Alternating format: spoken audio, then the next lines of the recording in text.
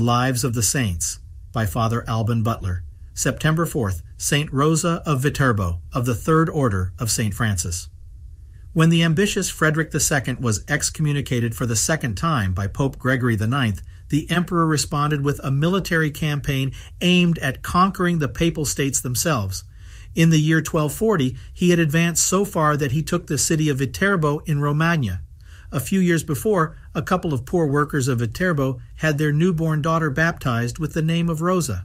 That child showed from her most tender age an extraordinary natural goodness.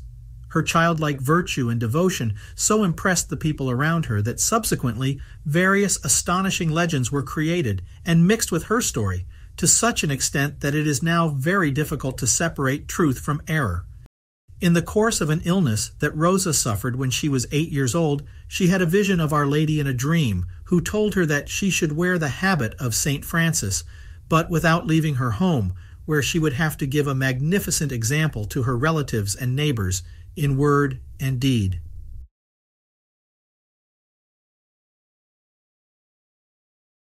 As soon as Rosa recovered her health, she received the habit of penance, and on her own initiative, gave herself more and more to the contemplation of the sufferings of our Lord, and to the consideration of the ingratitude of sinners.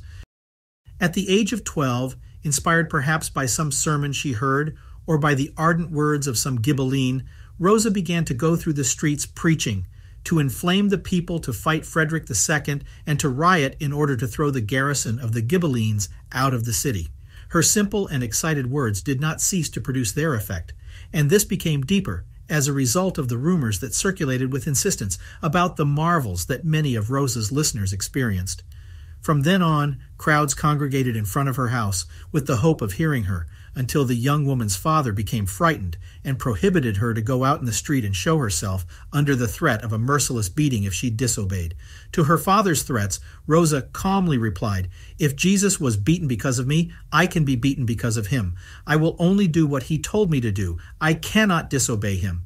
At the request of the parish priest, Rosa's father lifted the ban, and for two consecutive years the girl preached for the Pope's cause in the streets of Viterbo. Then the supporters of the emperor were alarmed and began to intrigue, so that Rosa was condemned to death for being a threat and a danger for the state. The Podestà of Viterbo did not want to know a word about this conspiracy because he was a man of good feelings and because he feared the reactions of the people. But instead, he pronounced the sentence of banishment against Rosa and her parents. Then they took refuge in Soriano, but Rosa did not stop preaching, and from the month of December 1250, she dedicated herself to go through the streets like an illuminated one, announcing loudly the coming death of Emperor Frederick I. On the 13th of that month, to the astonishment and admiration of all those who had listened to her predictions, the invader died in Apulia. Immediately afterwards, the Pope's party dominated the situation in Viterbo, and Rosa returned triumphantly to her native city. There is a story that, before his return, he confounded a fanatical Ghibelline woman appealing to the judgment of God. Returning to Viterbo, she tried to enter the convent of Santa Maria del Rose, but the mother abbess refused to admit her for lack of a dowry. Very well, said Rosa with a kindly smile. For now, you do not want me here, but perhaps your reverence will be more willing to receive me when I am dead. The parish priest put much effort into helping her, and went so far as to build her a chapel near the convent and an attached house so that Rosa and some companions could give themselves to religious life. But the nuns of Santa Maria received an order from Pope Innocent IV to close the new chapel in the house, since the convent of Santa Maria had the privilege of being the only one for miles around and did not tolerate competition from any other.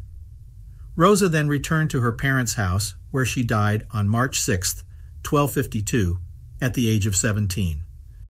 She was buried in the church of Santa Maria in Podio, but on September 4, 1258, her body was transferred to the church of the convent of Santa Maria de las Rosas, as she had predicted.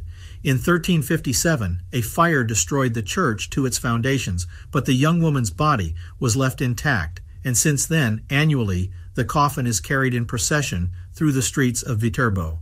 Immediately after Rosa's death, Pope Innocent IV opened an inquiry into the virtues of the maiden, but her canonization was not pronounced until 1457.